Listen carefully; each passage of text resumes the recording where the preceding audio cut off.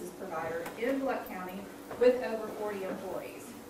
Allevia is a certified great place to work for three years in the running now. That's a great accomplishment, Stefan. Um, and they serve over 430 unique clients while managing almost 4,000 individual computers. So definitely Stefan is using his natural talent there. Uh, Stefan and his wife Nicole have six children ages 10 and under. So you're a busy, a busy guy there, Stefan. Yep. Uh, his bucket list includes items like serve a church as its pastor and be an over-the-road truck driver. I asked Stefan, I said, I, I gotta know what that means, and he said exactly what it, what it says. He would love to drive the, across our countryside at least one time, uh, in a, in a truck. So let's welcome Stefan. Thank you, Melissa. I can uh, I cannot vouch for um, my wife's willingness to be an over-the-road truck driver with me, but you know, hey, we'll get there one day. Uh, so, as she said, my name is Stefan Wilson. Um, I'm the benevolent overlord of Allevia Technology. I love that title. I stole it from an NPR show, uh, but it's perfect because sometimes I have to exercise. Most of the time, I want to be benevolent, right? We as leaders want to be loving, caring for our people, but sometimes you got to put the overlord hat on and say, "Hey, this is this is what we got to do. I mean, this is about the mission. Let's go." So, I'm a huge Simon Sinek fan. Simon, any Simon Sinek fans in here? Yep, Simon Sinek. So, start with why. If you haven't read it, you should. It's a great book. So, why am I here?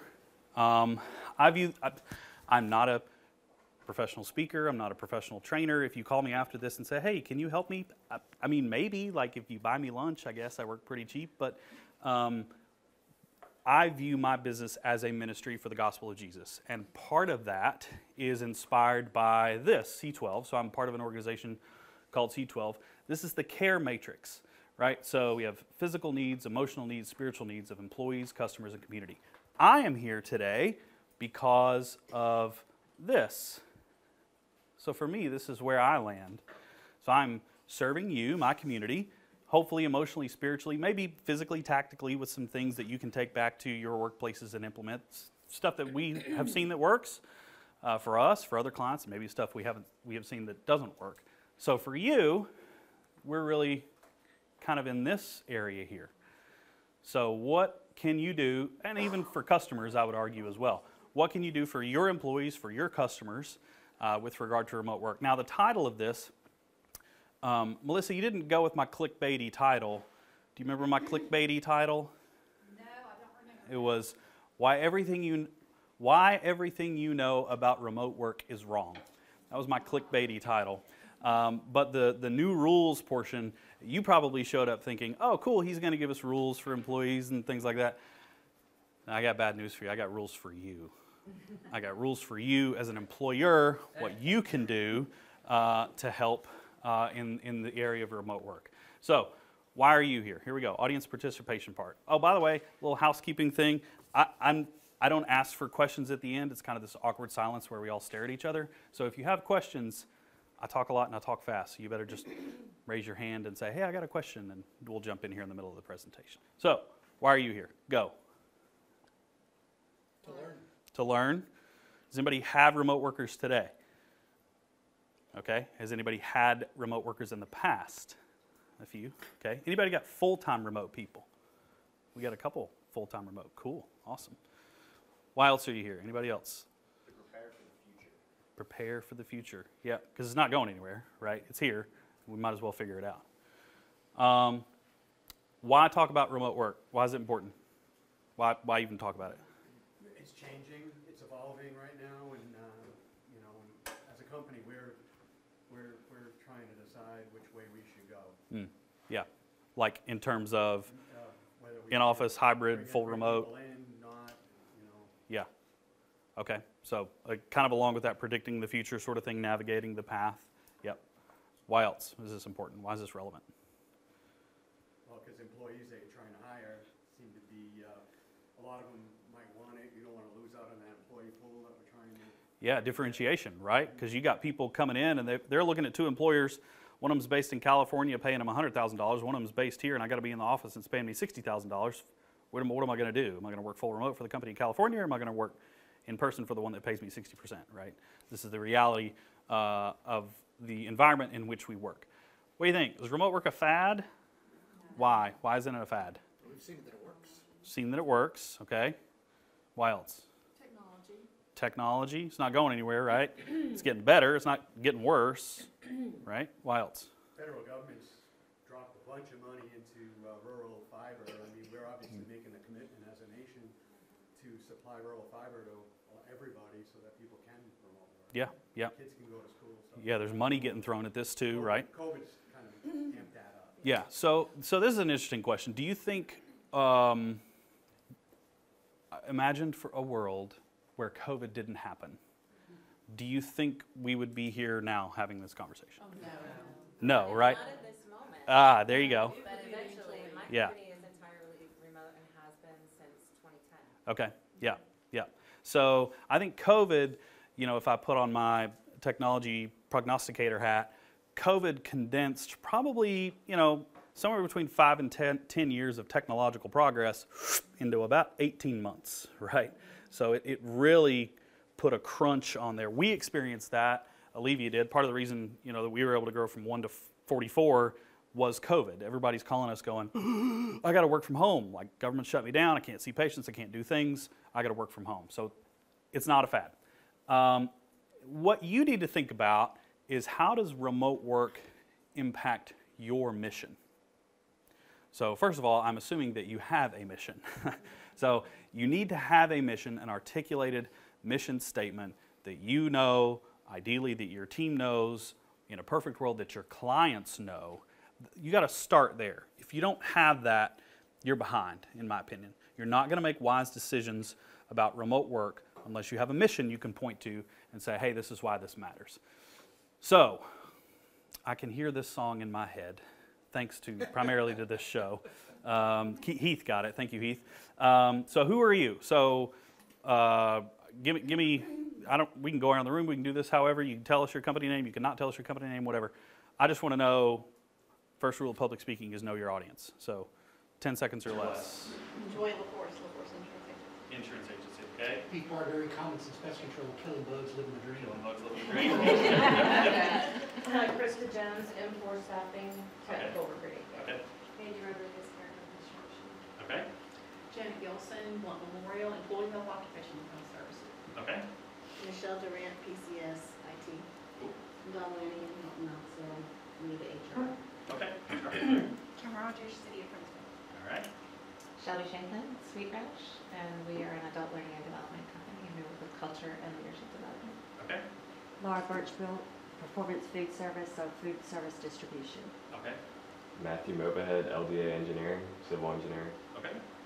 Jim Albert, LDA Services, providing services to engineers and other competitors. Okay. All right. So you guys sit together on purpose, engineers As well as- together. All right. Great. Greg Rose, Second Act Temporary Employment Agency. Okay. Lisa Dion, Cloud Media, Advertising and Marketing. Okay. Kyle Perkins, Rosewood Virtual Tours. Anita Parker, Bentley Home Inspection. Debbie Setoff, Irrigation Development Corporation, we do the SBA 504 loans for the federal government. Sarah Calkin, Express Strategic Services, we're a marketing agency. Sebastian Lambert, Computer Systems Plus, IT Services. Christina Baker, I'm a Director of Talent Management for Pellissippi State Community College. Melissa Spangler, Kappa Consulting, passionate about helping people grow personally and professionally, and I am a business coach and do training and development and consulting. Our behind the scenes folks, you guys want to introduce yourselves too? Come on, Mitchell. Oh, me? Uh, Mitchell with Mitchell Bain Photography. And I'm Jenny O'Malley, I'm the social media manager for Blount Partnership. Okay, so we got a good mix here. We got some construction, we got some HR, we got some media, we got some field services, we got some insurance.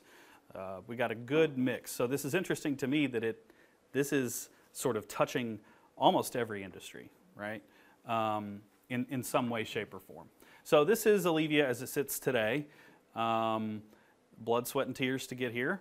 Um, so, you know, we've got a, a, a good amount of people, and we're trying to decide, you know, with all these people, COVID hits, what do we do? Who, who gets to work remote? Who can work remote? Who shouldn't work remote? Who should be in the office? We're sort of trying to answer all these questions. So, my hope with this presentation is that um, you get a little bit of um, wisdom is knowledge plus experience, right?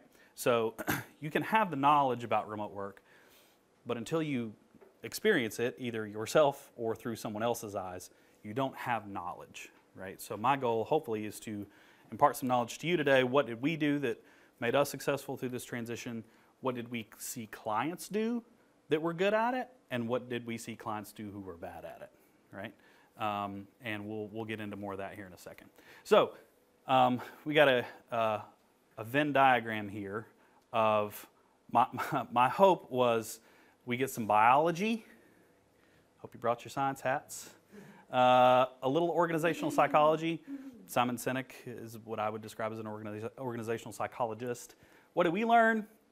And a little bit of spirituality here on uh, how and why this is important. So hopefully, by the end, I land right smack dab in the middle of all this. Uh, we'll see if it and if it all falls apart or not. Uh, but hopefully, that's where I kind of want you to be.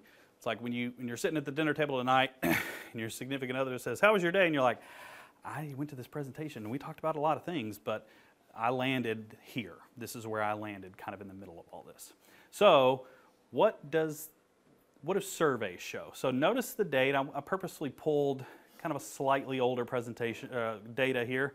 Remember where you were January 2021, right? The world ended March of the previous year. I remember my kids. My kids go to Maryville City Schools. They came home for spring break, right, in March, and never went back, right? Well, you know, for a while. So what does the data show? So 83% of employers say shift to remote work has been successful for their company. So notice 83% of employers, right? So that's that's pretty good. That's really good. 83 out of 100. 87% of employees say the office is important for collaborating with team members and building relationships. Okay, all right. I'm, I'm, gonna, I'm throwing some weird information at you here. Only 5% of executives say that employees don't need to be in the office to maintain company culture. So the inverse of that is what? 95% say employees need to be in the office to maintain company culture. So we have, we'll get there. we'll get there. So we have some interesting statistics happening. Um, for us, our model at Allevia is we, we hire good people, good humans. We try to suss out who is a good human, and we can teach you the technical things. Yeah, you got to be interested in it. Yeah, you need to have a passion for it. But I'm not necessarily looking for a ton of expertise on the front end. I want to know can you serve people? Can you take care of people? Do you care about the client calling you in, calling in on the phone? So, respondents of the survey with the least amount of professional experience, so zero to five years, are more likely to want to be in the office more often. Why? To learn, right? 30% of them prefer being remote no more than one day a week versus just 20% of all respondents. The least experienced workers are also more, more likely to feel less productive while working remotely. Duh. If you show up to a new job and you're full remote and you can't ask the person in the cubicle, hey, which, which printer do I print to again? Right? Like if, if you don't have that knowledge, you're going to feel less productive. So hopefully, I'm, I'm purposefully throwing some pros and cons at you here. So I thought this stat was interesting. So this is real estate strategy in transition as companies anticipate multiple changes. Again, going back to January 2021, 61% said they're going to consolidate office space in at least one premier business district location, implying that they would close other locations. And I don't know if y'all know this, but real estate's expensive. so when you're trying to predict, and the, those timelines are longer, right? I've done two construction projects in my tenure at Allevia. They were both really expensive and they both took a long time. So you try to get out ahead of it and predict and see you can follow the money, right? So where are we now-ish? This was kind of middle of last year.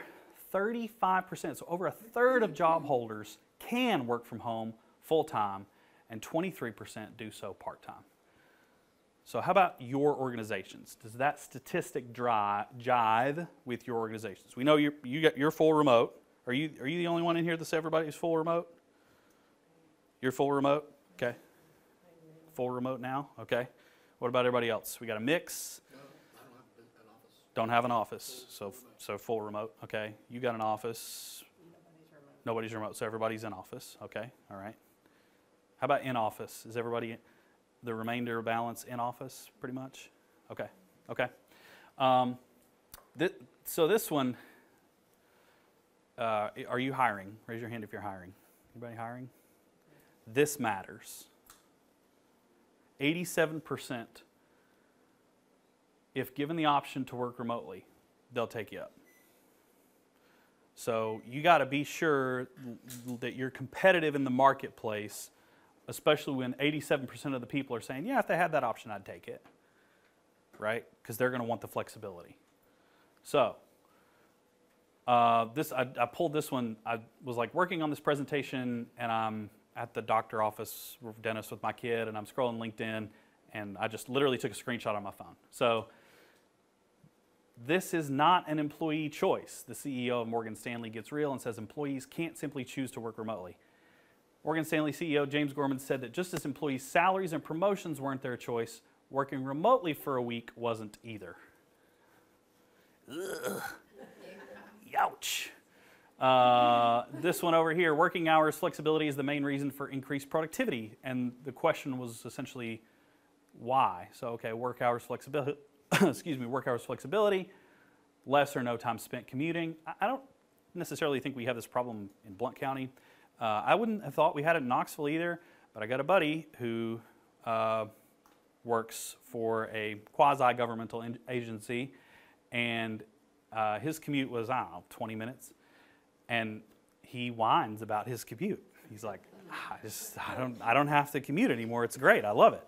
And they're trying to get us to go back in the office, and I don't want to do it because of my commute. I'm like, dude, you drive like 20 minutes. Like, what's the big deal? He's like, yeah, but add it up. It's 40 minutes a day. And what if there's a traffic jam? And you got all these things, right? So some of these things we have to listen more than we talk, right? And so you can see some of these respondents as well. Um, some people did say my productivity has not increased. There's a variety, there could be a variety of reasons for that, and we'll get into those more here in a second. So here we go. We are going to divide into four groups. I haven't counted you, so I don't know how many there are. You're going to choose a team name, and you're going to elect a scribe. You got 60 seconds. Are you ready? Go. Better than them. All right, we got a scribe for everybody? All right, so here's what we're going to do. So, you guys, better than them, you guys are writing employer pros for remote work. So, you are the perspective of the employer, you're giving me pros for remote work. Brainiacs, you guys are employer cons for remote work. So, you guys are putting your employer hat, you don't want people to remote work, okay?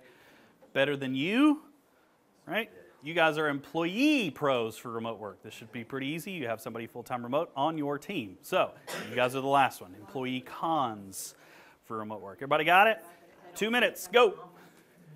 Give me as many as you can. All right, here we go.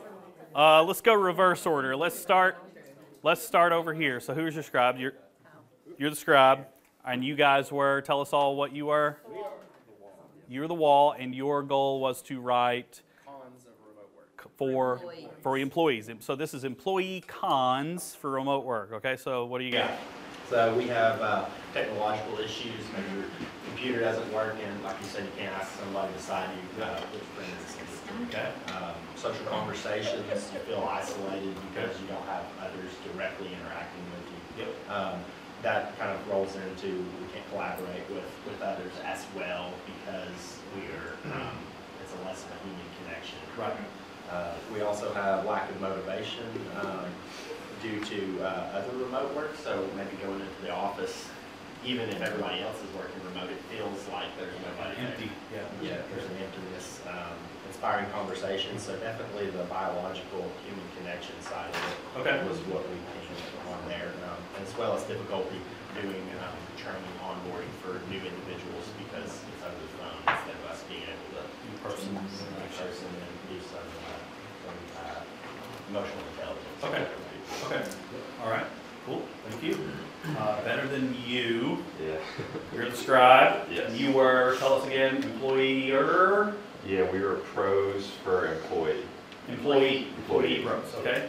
What you got? So we uh, said no commute, um, and also like a general one that just help with productivity, um, flexibility. I guess if you need to run an errand or something in the middle of the day, you can, uh, you know, you can just extend your schedule. You're not like more locked in. You're less locked into your office space. Office, yeah, okay. Yeah. Um, your workspace in general, you have a little bit more control on how you want to set it up.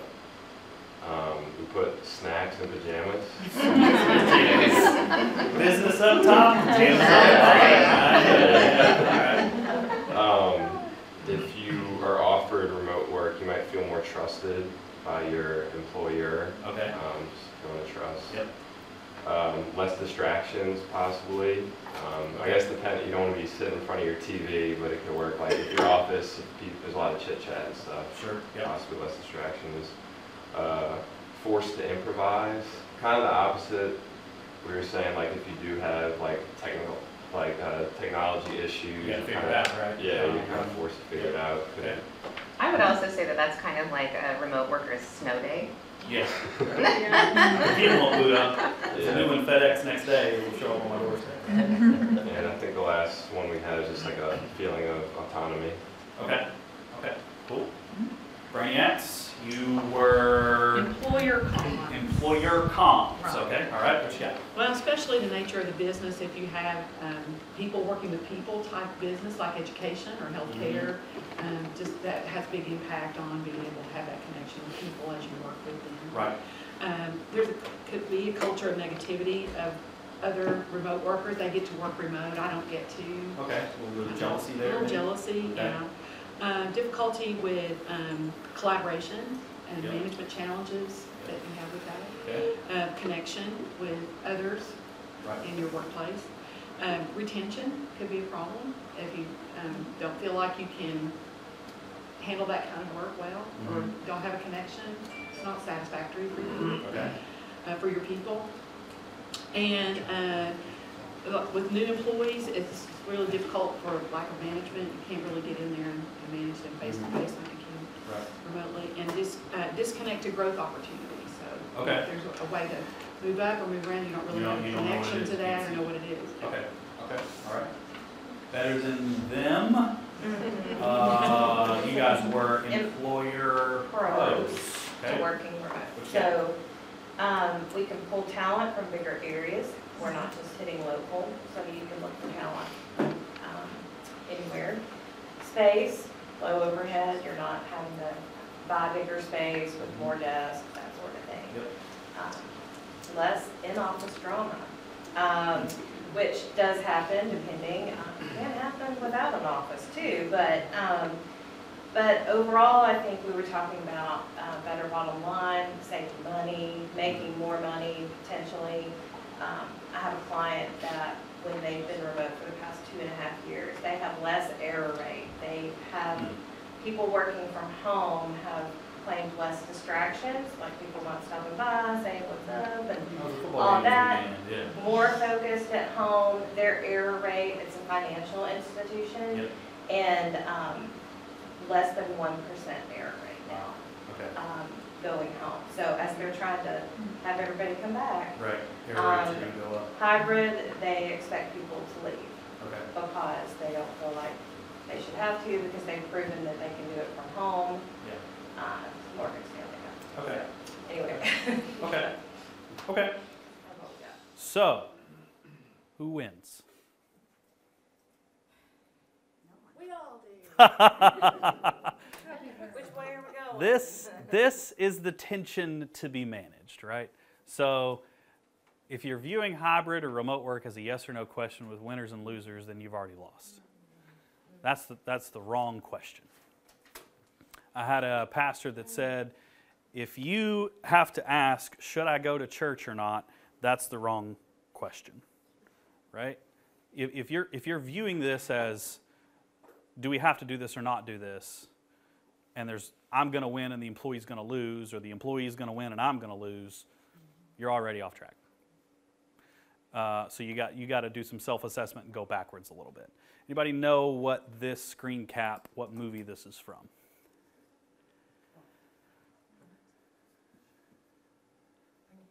Says it's in Latin. Uh, it's not. No.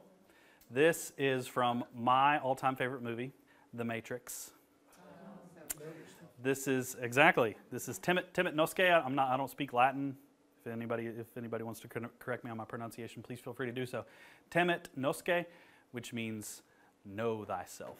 So I don't know if you remember this scene, but Keanu, Keanu Reeves, Neo, goes to see the Oracle, and the Oracle is supposed to tell him he's the one. But what does she do? He goes in, she says, You've got the gift, but something's holding you back. She says, See that sign up there? She points to that sign, and this is that scene. She says, It means know thyself. You don't know yourself enough to execute to your full potential. So, my encouragement to you is to know your business, know your clients, know your employees well enough to execute to its full potential. Now, how do you do that? So, anybody know who this is? Who is it? Disney CEO, uh, Bob Iger. That's right, it's Bob Iger. So, CEO times two. So, he is now on his second round of the CEO at Disney. What do you think he had to say about remote work? Think about Disney. Okay, think about what you know of Disney. Think about their product. Think about their market. Put your business hat on. Think it has to be a mix. Okay. Other opinions? What do y'all think? Some, something about encouraging creativity. Yep, yep. Creativity is the heart and soul of who we are and what we do at Disney. And in a creative business like ours, nothing can replace the ability to connect, observe, and create with peers that comes from being physically together, nor the opportunity to grow professionally by learning from leaders and mentors. And just to hit you with some data, um, he took Disney from over 15 years. I may have that somewhere. Nope, I don't have it somewhere. He took Disney over the course of 15 years from something like a market cap of like 47 billion to like 287 billion. Okay, so this guy, like dramatic, they acquired Lucasfilm under him, right? They did major acquisitions under him, and this is what he had to say about remote work. Now, we'll get to this in a moment, but I want you to remember this when we when we talk about a section here a little bit later on in the presentation. Okay, so knowing your data. So we kind of alluded to this earlier about productivity, about error rate. If your business's metric to gauge employee productivity is management by walking around, and yes, that is a real tenet of management philosophy, you will feel completely lost when it comes to evaluating productivity in a remote world. You can't do it. How do you do it? You got no data. You got no metrics. Temet nosce, know thyself. You don't know yourself if you have employees working from home and you have no gauge of data to be productive. We, this is like a, um, a refrain at Allevia. Good people can and do prop up poor processes. So if you have poor processes, but you got good people running them, it'll be all right. But imagine if you had good people and good processes. How much more could you get done? How much more effective could you be for your mission? Uh, how much more margin could you have, et cetera? Um, I'm a huge book nerd, so you know, Good to Great by Jim Collins, classic. Uh, anybody read Traction, Gino Wickman? Anybody executing Traction in their organization? So, yep, we just started. We rolled out Traction last week, so we've been planning it for about nine months. So, um, last year I said we were doing Traction by training wheels. So this year we're actually doing it. and this is a great book as well, The Four Disciplines of Execution, 4DX. Um, read those books. If you don't have sort of metrics or, or not sure where to start with data, uh, these, are, these are great books to read. All right, questions you need to answer. If I was alone on a desert island, uh, this is assuming you have remote workers, okay? and, and I think we've established there is a need and a want to have a policy around remote work, right? Every, every one of us as employers, as HRs, whatever, business owners, we need to think through these things ideally beforehand. Because I can tell you, when you have an offer to an employee and they're like, hey, that's cool, I've been through your three stage interview process and you've made me an offer and I want to accept, but I want to do hybrid. That's the wrong time to decide whether or not you want to do hybrid. You need to have a policy and establish this well beforehand. So if you were alone on a desert island, how would you know if employees are productive? If you got one postcard a day in the mail via seagulls, that analogy didn't quite hold up, um, how would you know if your employees are being productive? I love this. What is a lead measure to produce the lag result? We are so lag driven in our organizations. Profit and loss, customer response, ship on time, project completed timeline. Those are all lag measures, right? What are the lead measures to produce the lag result? This is a totally different way of thinking. Um, one of my favorite examples in 4DX is a construction company. They were trying to reduce uh, accidents. Well, that's a lag result, right? The accident's already happened. So, how do you improve employee safety? I don't know. How do you improve, improve employee safety? Training, equipment, PPE, right? You have to do these lead indicators, and they tracked those lead measures to produce that lag result. So you need to answer these questions, especially, y'all, my advice, whether or not you have remote work or not, you should be answering these questions, right? So here's the good news winners want to win. If you have hired winners, and ideally you have, uh, they want to win. They want to execute, they want to do the thing, they want to win in the marketplace. Um, how do winners know they're winning? Basketball team, playing basketball. How do they know they're winning? Score, scoreboard. Do you have a scoreboard in your business that employees can look at that's updated and ideally in near real time, color coded? Can I look at it in three seconds or less and tell whether or not I'm winning in my role today? Yes or no? You need that, whether they're in office or remote. You, you got to have that. Winners want to know the score. That's a concept of 4DX as well. You've got to have a scoreboard. Now, you, you as a coach, your scoreboard is more complex, right? You're tracking more data, you're tracking more variables, you're trying to figure out, okay, well, we had 15 leads and we sat 10 appointments and we closed one, right? So you have a lot more going on. But for the people that are uh, soliciting the leads, they're going to have a lead measure, right? Versus the people that are meeting with the with the potential client, they're going to have a different measure. So all of these are lead indicators you need to be knowing, and you can use this to your advantage. Do you think LeBron James would play basketball if there was no scoreboard? Do you think Tom Brady would not go into retirement if there was no potential for a Super Bowl? Right? Winners want to win.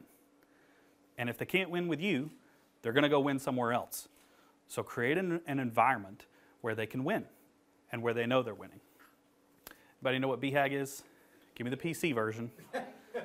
Big, hairy, audacious goal, right. So do you have a BHAG? What's your BHAG? Both corporately, collectively, individually.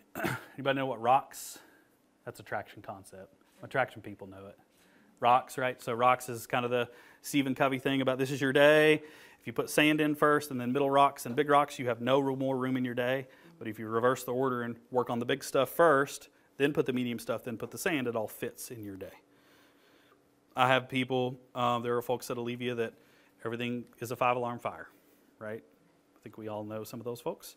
Uh, guess what? It's not a five alarm fire. Um, it's pretty easy to reestablish and readjust. But again, we got to know what the score is. What's the score? What am I working on? What's my rock? What's my BHAG? What am I aiming toward? In my mind, an incredible culture is one in which the team members, not the leader, hold themselves accountable to the metrics. So if you've got people working remote, how you need to answer this question how are they holding themselves accountable to the metrics? It's going to get real old real fast when a leader has to stand behind them and tap them on the shoulder every 30 minutes hey, hey, hey, or every day, it's going to get real old real quick for both the leader and the employee. So, how do you create a culture where the team members, not the leader, hold themselves accountable to the metrics?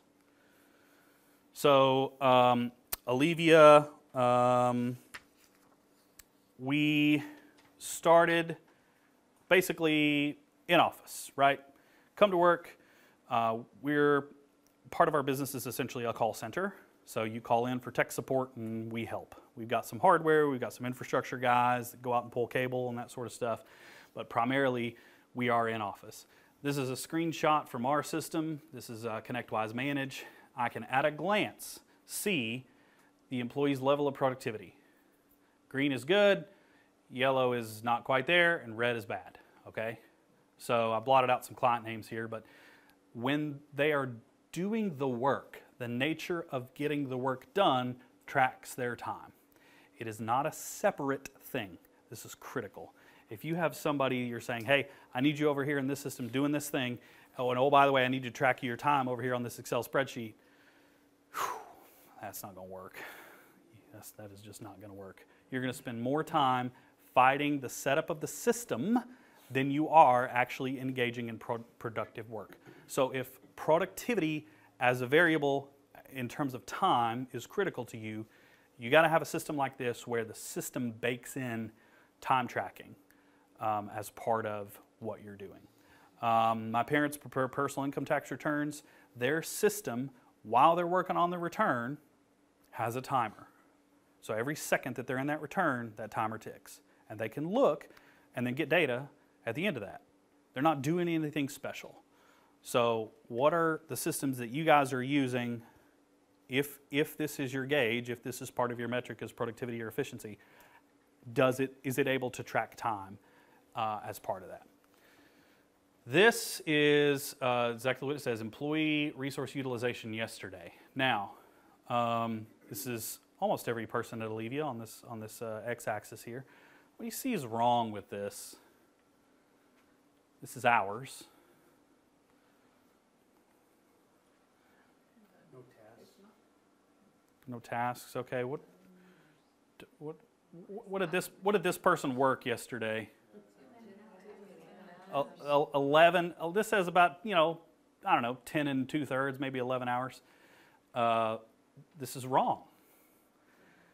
So you know what I did? I went and clicked on this person. This is Morgan M. I went and clicked, and she had a time entry in incorrectly. She had put 3 a.m. instead of 3 p.m.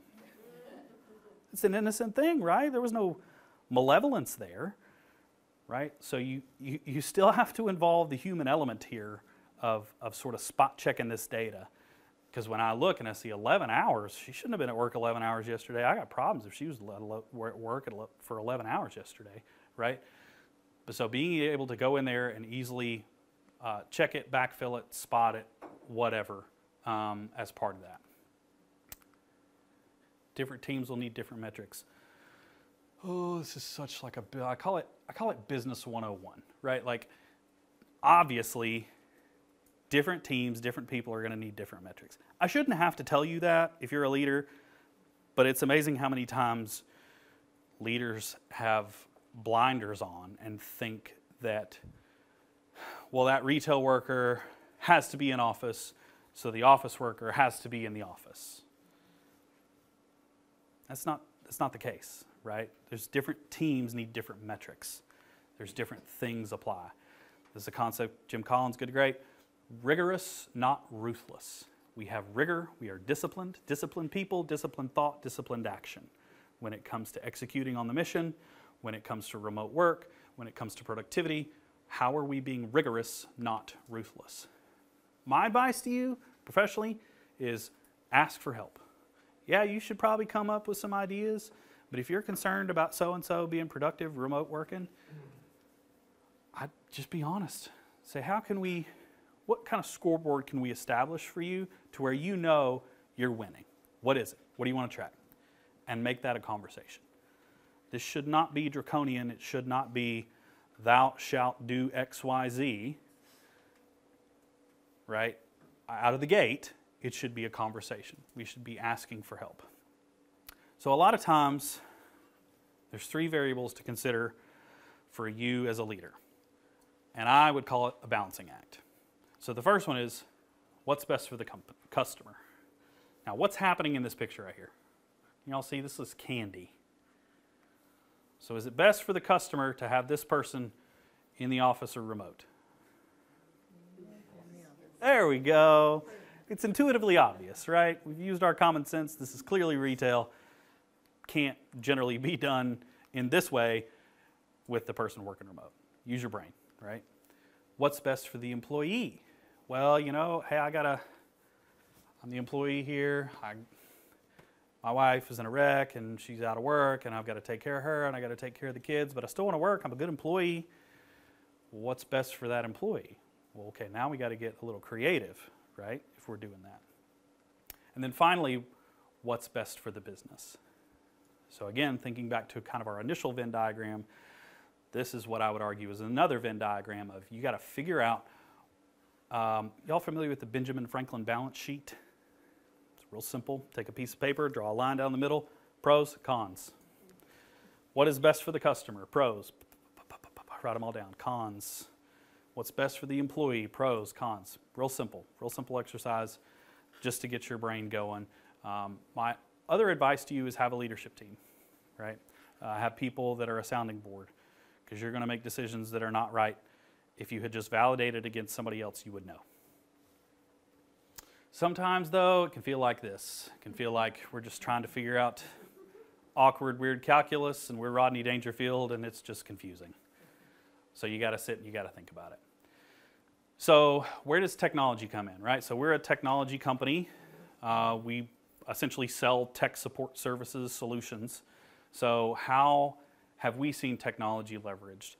The, the lowest hanging fruit here is honestly voice, voice over internet protocols, your business phone as an app, business phone as uh, even a physical desk phone at your house, uh, a soft phone on your computer.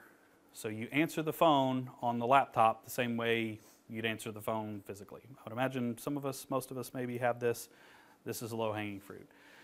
Uh, Team Slack, Google Chat for real time or near real time communication, and this is the linchpin for us: is ditching email for internal communications.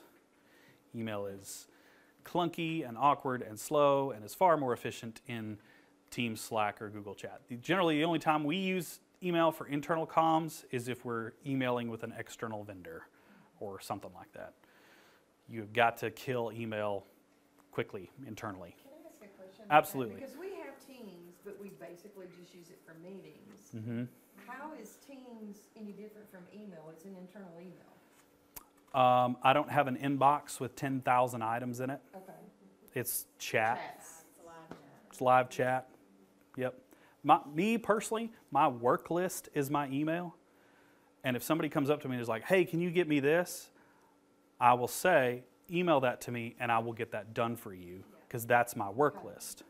But Teams, to me, and this is where you have to establish semantics within your organization too. It's like, what is safe to do in Teams? What do we need to do in the, the line of business application that we use? And then what gets emailed, right? Because we haven't been able to get everybody to transition internally to Teams. It's still emails batting back and forth. And you will fight that forever until, It's just gone. well, this, this, that's not a technology problem, right? Yeah, it's a people problem. right? We get we get clients. We'll sell them a solution. They're like, ah, it didn't work. I'm like, well, it's you sent three Teams chats over the last six months. Of course, it didn't work. You put three Teams chats on there. Like you should have a ton more information in here for you to actually be leveraging that system, right? That solution, and that's a that's a people issue. That's a whole nother success in 90 on right, like how you how you realign that. SharePoint, OneDrive, Power Automate, Dropbox, Google Drive. Use something else other than let me work on this Word document, let me email it to you, let you work on that Word document, you email it to him, let you work on that Word document, you email it to her. Well, who's got the most recent version? Well, I don't know. I got one yesterday at 2:32 p.m. What, what, what was the timestamp on yours? So inefficient. Just throw it in SharePoint, throw it in Teams even, uh, and you can have it in one central spot, and we can all look at it together. Have a cloud-first mentality. Is anybody here? N- Ooh, this is embarrassing. Maybe potentially. Who is using cloud in some way, shape, or form? 365 line of business application. Just about all of us, right? So, as you're evaluating solutions, it needs to be cloud first. This means flexibility. So for you and for your employees, hey, I got a sick kid at home, but I'm still productive. I can still work. I'm just kind of babysitting them, getting them stuff, you know. Cool, yeah, go ahead. Just take your laptop home and go work. Hey, plumber's coming by. I got a problem. You know, toilet's not flushing. Plumber's coming by tomorrow at nine. Cool, go work. What time do you think the plumber show up? You think they'll show up at nine? Probably not, right? Um, and again, we, we rehash those metrics. We rehash that productivity conversation a centralized system for clients that is not email or a spreadsheet. Um, I cannot tell you out of you know the 430 something clients we have, uh, probably 50% of them don't have a system for clients that's not email or a spreadsheet. Like it is just super inefficient to have email spreadsheet. I hope y'all have some kind of other system for that. Uh, this is where I pull out my crystal ball and tell you what the future is. So Power Automate, anybody used Power Automate before? Incredible tool. If you have 365, Power Automate is amazing. This is a workflow that I built for a what used to be a manual process within our organization as we sold new clients. So so and so would have to get the company name and the email, and they'd have to take the template, make a copy, and make a new folder, and share the link and email the client. This does all of that automatically in about three seconds, right? Didn't take me much time to set this up. Yeah, I got to think a little bit logically as far as the workflow goes, but leveraging Power Automate, leveraging things like that to make you more productive, more efficient, um, that's where it's at. And what I mean when I say no code is I wrote no code in this. I literally just kind of dragged boxes in line of where they need to go and build the workflow, build the flow. Anybody use ChatGPT? Yeah, yeah, awesome. It is amazing. It is going to, um, I don't want to, you know, be dramatic, but it will, maybe I do want to be dramatic. ChatGPT will increase human efficiency dramatically. So I can go over and ask ChatGPT, hey, I've got a difficulty, I've got a, write me a collections email, uh, and I need this invoice due in 24 days, or we're going to cut off payment. And it produces the content for me. It's an incredible tool. Uh, it's going to be awesome. So, how can you leverage things like this in your business uh, as we start thinking about remote work and hybrid work and that sort of stuff um, to make us more productive? Any Peter Drucker fans in here? Yeah? What does this mean? In your own words, what does this mean? Anybody seen this at play? Melissa, you're nodding. Yeah, uh, so you can come up with all the, the greatest strategies in the world and goals to attach to them, but if your company culture is not healthy and engaged, you don't have, if you only have people's, uh, hands and feet, not their head and their heart. Yep. That's the culture piece, then strategies are gonna fail. Yep. You're not gonna reach your goals. Yep. Where we saw businesses fail with remote work is they they had a pretty marginal maybe culture to begin with. And they tried to take that marginal culture and then go remote. And what do you think happened? It was the culture got worse, right? Like it wasn't well managed to begin with. And so then it's still not well managed and it's more difficult to manage when we're remote. You can manage a fully remote work culture and have a great culture. There are businesses that do. You're part of one. I've seen some, but it, it takes intention, right? Yes. Attention. It takes both, right? So to be laissez faire about it, it's not going to be good. What you reap, you will sow, right? So if you're if you're sowing, hey, this is about this is our mission statement. I, my job is to sow this mission statement in everything in client interaction, in vendor interaction, in employee interaction, both me with the employee and employee to employee. It's got to be love people first. That's our mission. If I'm not clear about that, or if the employee's not clear about that, all of a sudden cracks start to form and they get worse and resentment happens and it's, it's not good. So you got to have a good culture for what I would say is excellence in any work, in office, hybrid, full remote, and that takes good people. So if you got remote workers, make sure you have metrics. You got to have the data. You got to know the data. You got to use the data, right? Like we, we have a tool that will track all this data and all these metrics, and we're, we're probably honestly only using about 10 to 15% of it. So we could do a lot more with it. What are you doing with the systems that you have? Or do you need to chuck the systems that you have and get a new one and look at, look at what you have that, that can be new? Um, I would say what helped us with remote work was uh, people need to be engaged on a regular cadence. Hey, we got a standing meeting this day, this time. Teams, um, y'all remember the whole thing with like camera on or camera off? You remember that? Um, my stance was just do whatever you want to do. Like, I don't really care if your camera's on or off, but I was clear about that from the get go. Right? The worst time to decide whether camera on and camera off is right there in the middle of a meeting and one person has their camera off. That's the wrong time to decide our policy is camera on, right? Like we need to communicate this and be proactive about this as part of our culture. You, you got to be able to trust. Anybody Patrick Lencioni fan? Love Patrick Lencioni. Uh, Five Dysfunctions of a Team is an amazing book. It, a, it, think of a pyramid. The base of the pyramid is we have to have trust. I have to be able to trust that you're doing what you're supposed to be doing, and you have to be able to trust that I'm doing what I'm supposed to be doing. You have to have trust. You need to be able to trust, da da da, but verify without seeming overbearing.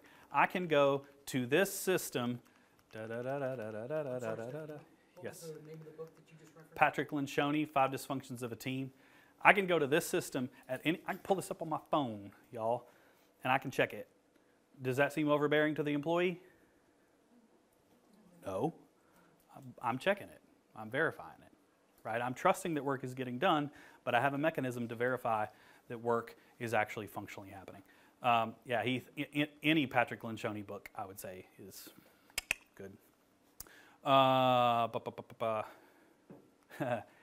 Culture is much harder to develop remotely, but it can be done.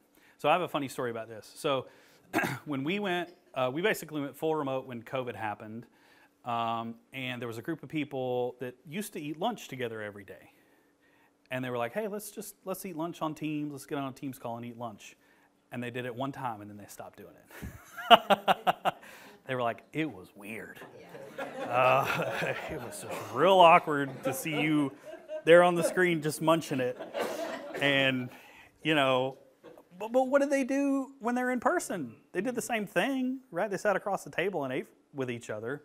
You don't know when someone's gonna talk and then. Yeah, right? But it's just weird. It's just real awkward. So some things translate fine to remote work. Eating lunch, probably not so much.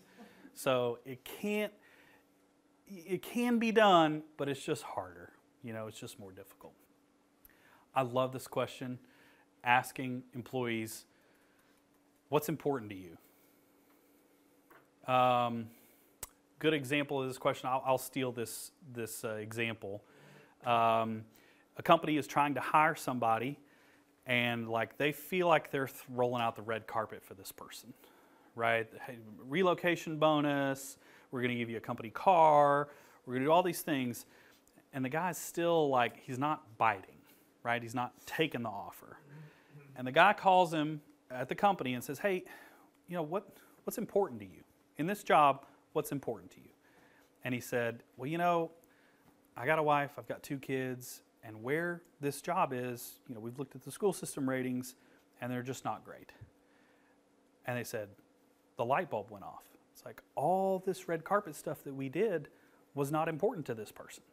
So all this stress on the P&L, on the CFO to figure out this offer had no relevance to this guy that was, that was looking to accept this offer. And the person at the company said, well, hey, you know what? I personally know of a school, one, you know, one city over, one county over, whatever, private school. Could we structure a deal where you had the flexibility to take them to school and then we bumped your salary commensurate so to where you could afford this tuition. Would you accept the offer? And he's like, 100% on the spot. So the company saved money and the guy got what he wanted by this question. So if you're fighting with remote workers, do you have a mission? And are you asking the person, what's important to you? What is relevant to you? What's important? So here's us. So we are office first with a work from home option. So I would say we are hybrid. So 44 employees. Uh, we have a down with the sickness op, um, which is basically any manager, if you come in with the sniffles, your manager can look at you and go, You're working from home today. Get out. We don't want to spread your germs around the office. Right? So that's an interesting, to me, execution of a work from home policy is we encourage employees to self-select and say, hey, I'm not, I'm fine, I can be productive, I can do the same work, but I don't want to be around other people. We have an open, open concept office, so it's very open. So if you're sneezing, everybody's going to hear it, right? So uh, we have a SOP for that. If inclement weather's coming, we, we work from home. It's just, hey, snows in the forecast tomorrow, take your laptop home, be prepared to work from home, right? Uh, we got a process for people working remotely, so when you're hired, you do not out of the gate get to, to work from home. You have to establish these things, then you can work from home, right? So we have that structured, we have that proactively spelled out before we hit these issues and these problems um, that we have already established. What are the KPIs to that, if you could go into a little bit of detail? Like, is it a productivity style to, uh, to be vetted to work from home? This, not really. Uh, it's more, well, yes. Secondarily, it's, it's the KPIs around productivity. When you first show up to work, frankly, I don't expect you to be productive for probably 30, 60 days in the work. I expect you to be productive in training. I expect you to be productive in learning. And our cadence, uh, we're working on an LMS, but we have not set up a way for people to get trained without being with someone else, right? And it's much easier to do in person in the office, you know, than it is necessarily remotely. Really, we have indexed this to time. So time on the job is how we've done it.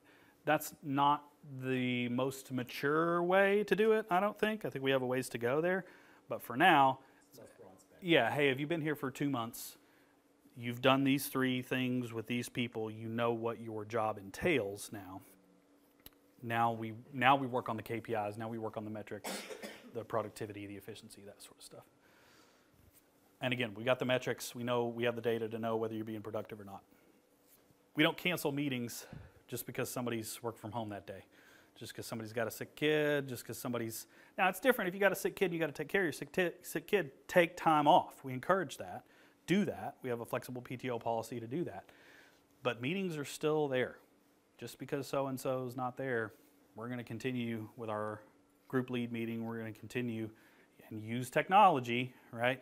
If you don't have, Really use technology as do what? y'all can't really use that as, a- as an excuse. Yeah, right. At least I hope not.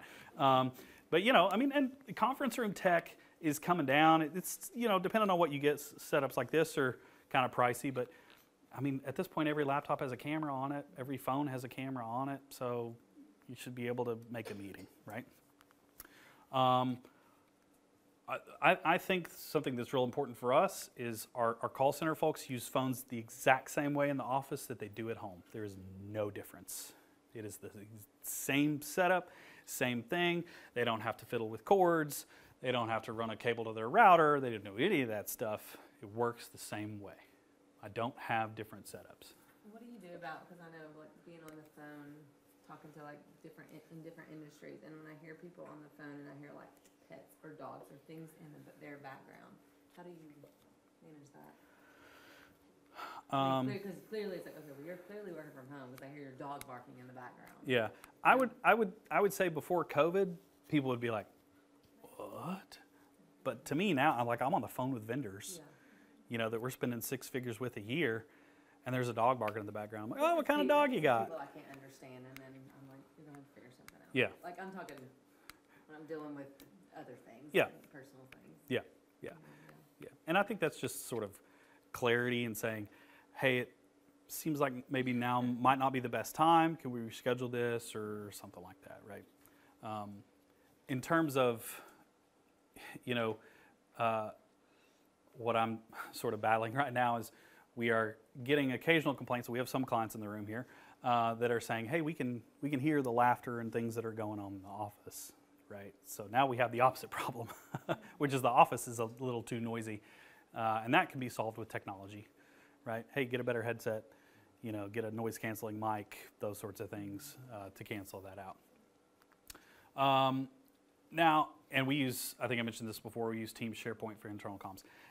and, and, just to be totally transparent with you, um, I am, uh, it was interesting that I got asked to do this one because I would have said I'm probably pretty, know, don't take offense, but old school in my thinking. Like, I want you in the office, I want you here. I did not set out to build a remote work culture when I started Allevia. That was not it. I wanted to build an interactive teaching, training, learning, serving culture, right? And the best way that I saw that was to be in person. Have I had to readjust and realign my expectations? What do you think? Yes, you should too. In this day and age, if you have people in your organization that are old school, you got to bring them. You, you got to sometimes drag them, kicking and screaming. You got to drag them along. So, what is my role as a leader? I got to keep the focus on the mission. Love people, manage tech. I got to point everything back to that. If your mission statement is, our mission is to serve and honor the customer through profitability and dependence on modern solutions, nobody's going to get behind that. Nobody. You should be able to call an employee at 3 in the morning, wake them up from a dead slumber, and say, What's our mission? And they need to be able to tell you. If they can't do that, go back and work on your mission. You have to figure out what your mission is first and keep your focus on that. That will set your course in really any decision, but hybrid and remote work especially. Some of y'all in this room probably work with outliers. You know, what, what are the, the metrics say this person actually worked from home seven days last month, and the next closest one was two. Why? Is everything okay? I don't default to negativity first.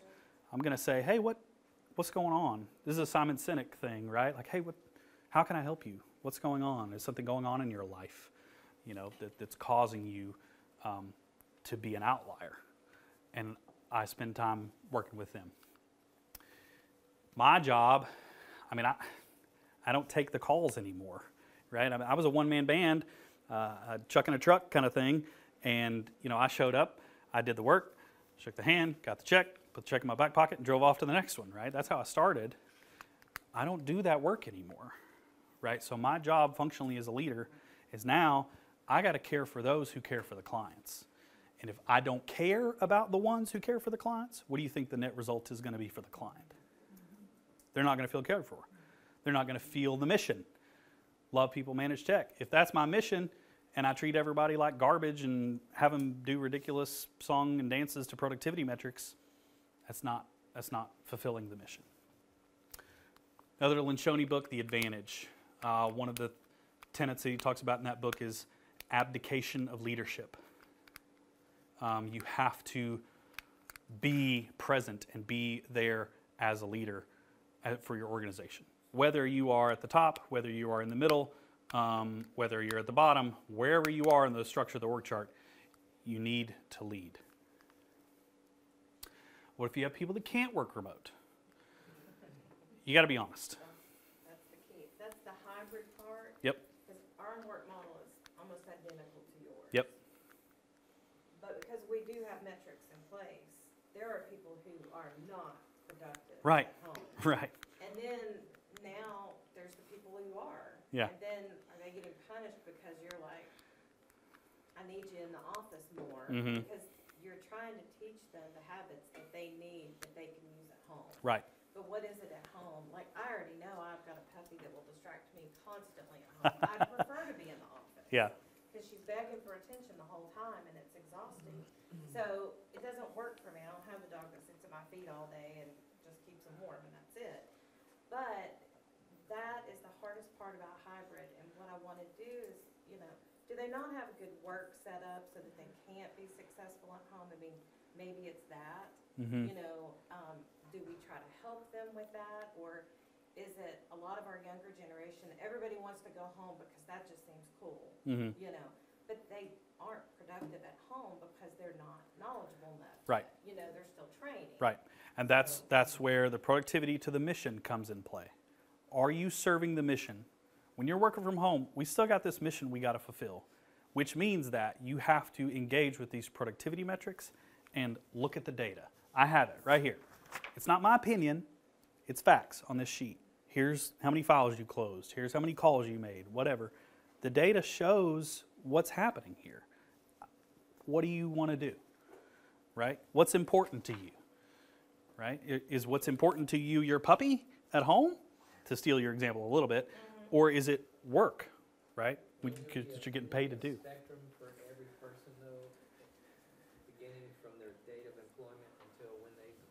100%. Yep, unconsciously competent. I love that. In there a time, I mean, it's not going to be a puppy forever.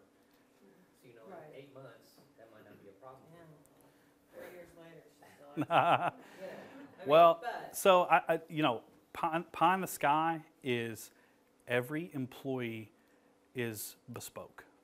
You have metrics that are custom to every single employee. That's pie in the sky. Every employee has a scoreboard. Can that functionally be done? Certainly not in our organization. We, we, we're not well um, machined enough to have that. That's my goal. I want to get there, and we're driving towards that.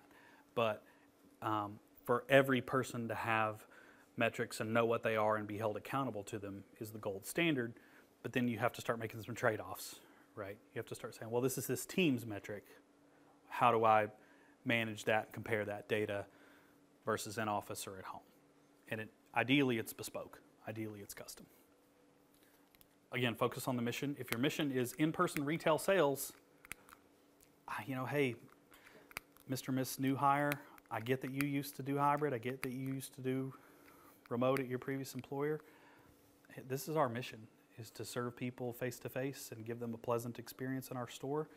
And I'm sorry, you just can't work remote. Then it's not about their productivity. Then it's not about this. It's about the mission. The mission is the sword that determines whether you fall this way or fall that way, right? You, you, you, you slice that mission. You slice every decision with that mission, and the answer ideally becomes intuitively obvious. Yes, ma'am. Really, in your organization, mission to values. Yeah, so we have. It seems like your mission is very values oriented. Yep, we have we have values. We have five values. Um, we um, I just had an annual review with an employee yesterday. That entire review was based on those values. We threw metrics in, but the but the functional rating that that employee received was based on the values. We award. We have the. I thought about bringing it in. It's like a y'all know um, Flava Flav, the big time clock thing. We got one of those that's the Allevia A on a big chain, and we call it the Allevia Values Chain, right? And so employees give that to one another and recognize another person for a particular value, and hey, they knocked it out of the park with we before me, and here's how I saw them do that. Here's how I saw them demonstrate be an eager learner. They just killed it this week. They were awesome, right? So we have that baked in and built in. So, yes, we have the mission, and then we have the values, which is how you support that mission. And then the metrics and productivity stuff, you know, below that, the actual data. Use common sense. Thank you. You know, yes, 100%. Use common sense. Client right here. Uh, you know, if, if your mission is fixing cars, uh, there's, there's, there's maybe some remote work that can be done with scheduling and calling clients and that sort of stuff. But if I got to spin wrenches, I probably can't work remote, right? Use common sense. Uh, you got this is one that I struggle with personally, is communicate well both corporately and individually. And ideally, your comms are the same. You're not telling one group of people something and telling another group of people something different. It's consistent. Uh, and I have people in Allevia, in the organization, that will hold me accountable to that. And I have had to eat crow before and go back to people and say, I told you wrong and I apologize. This is what I actually meant to say. So, what if you have people that are working remote and you want them back in the office? Ask them, what's important to you? My buddy who wants to stay working from home, but his employer wants him in the office. What's important to you? Can we make a bespoke role? Can we make a custom role for this? Can we realign some of your metrics so that you can be remote, either permanently or temporarily, for whatever's going on in your life? Hey, I just had a, you know, my wife, we got a, we got a, a newborn. Um, it'd be great if I could work from home for a while. Okay? How do we do that? What can we do uh, to build that?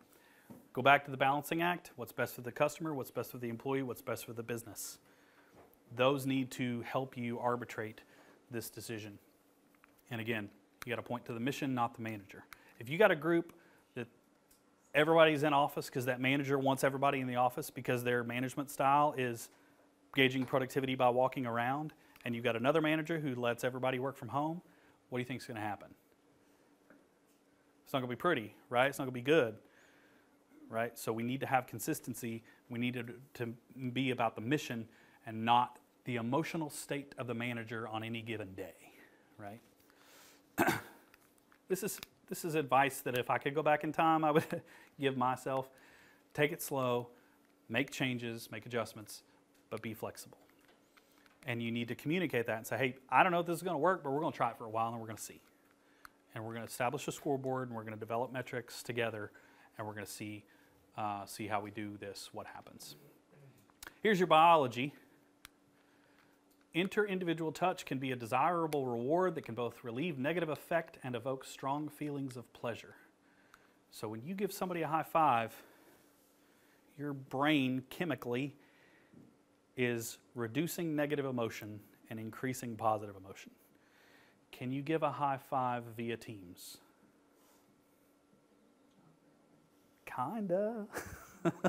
you you kinda can, but the way that we are created biologically, you have touch. And so when you take that away, you are removing an element of biology. Now, neurochemically, maybe for some people, that thumbs up on that post that I made in Teams gives me the same thing. But for some people, it might not. They may really struggle with not having that pat on the back, not having that high five, good job, fist bump, good job. Let's go. elbow bump was my favorite during COVID. Let's elbow bump. Um, it's just it's just different. But we were created, and this is science. Neurochemically, things happen in your brain when you touch somebody, when you give them a high five, when you give them a fist bump. Y'all familiar with King Frederick's experiment? So this was a Sicilian king in the 13th century um, wanted to run an experiment on babies and not talk to them and see what language they developed. Of course, he thought it would naturally be his own language. Um, as a secondary rule, the wet nurses were not permitted to touch the child, the, the, the babies, in as much as, as possible, right? They got to eat. But what do you think happened to the babies? They died. They died. Now, medically today, we call it failure to thrive, but they died. Well, they were fed, so physically their needs were met. Why did they die? There is a neurochemical necessary for your development that comes with touch. If you have somebody who is alone, they're not married, they're struggling in their personal life, do you think working remote is the best thing for them? Probably not, right? So, this is where we have to develop, you know, in my mind, certain spiritual, emotional sensitivity as leaders to say, what is best for people? Are you providing for your employees' basic need to be loved? I don't care if you're in the office or not, you should be doing that. They should feel loved, they should feel cared for. If you've got that figured out, then logically you can figure out how to do it remote, right? Is any work an encouragement or a frustration to them? If they're not getting high fives or fist bumps or any of that stuff in your organization, you have other issues. Remote work, you want to pin the tail on the donkey and say, well, remote work's the problem. Well, that's probably not it. It could be a symptom of a larger illness, um, which can manifest over time. But ultimately, you have to figure these out first before you move on to that remote work. So, what are the best doing? The best leaders listen more than they talk. You should be asking questions of your employees, of your team. Hey, what do you think? And you know what? Overwhelmingly, resoundingly, uh, the people at Allevia say, we love being in the office. I, it feels like I'm working with family was one of my favorite. Working with friends was one of my one. Now we, we have to work on other things, right? How to hold your friends accountable to data and to metrics, right? But it's about the mission. It's about serving our clients. Best policies are clear but flexible. So you have clarity, you have defined what those policies are, you've thought about them beforehand, other people have vetted them internally, you know what's best uh, in that Venn diagram employees, customers, business. Uh, communicate. So many times, leaders, I feel like it's just a one way trip and there's never any asking. So you have to develop that skill uh, to figure that out. You know, uh, I, I don't know that you know this, but work will never be perfect. Shocker. Um, perfection isn't the goal. How do we integrate work and life? That's the goal. Uh, Lencioni has a great podcast on this, talking about work life balance. It's not really work life balance that we're necessarily after. We're after how do we integrate our work and life? How do I bring my whole self to work and not put on a mask and be exhausted when I get home, or vice versa? Right? How do I integrate the two? Freedom within a framework. Ideally, if your team can make decisions and hold each other accountable, you don't have to get involved. But you have to establish the framework. And the framework has to be about the mission, has to be about your values. And you got to remember winners want to win. So if you're having to, you know, fight with somebody and drag them kicking and screaming, is there another issue there? Is there another problem? Again, remote work is the symptom, but it's not necessarily the illness. Um, I don't see us uh, ever being full remote. And I have made that clear to my team. I've made that to new hires. It's just that's not that's not us. That's not who we are. Um, I love that we have the flexibility for our team to be remote if they need to, and they use that. They leverage that. That they take advantage of that. Remember that statistic: 87% of respondents said if they had the option, they'd take it. We do. Now I have a couple people that are kind of like you. They've said, "I will not work from home." Like they fought me during COVID. They were like, "Can I just can I just like come in? Like nobody needs to know. I'll just come in and work, right? And it's like, okay, well, as long as we can sort of make adjustments and that sort of thing, sure, it's bespoke, it's custom. We have freedom within a framework. Um, thank you very much. That is all I have today. Um, if you have any questions, I'll be happy to hang out afterwards. But my hope and admonishment and encouragement to you is that uh, it's got to be about the mission, it's got to be about your culture, and then it becomes easier to arbitrate uh, decisions on hybrid and remote work. So, thank you very much.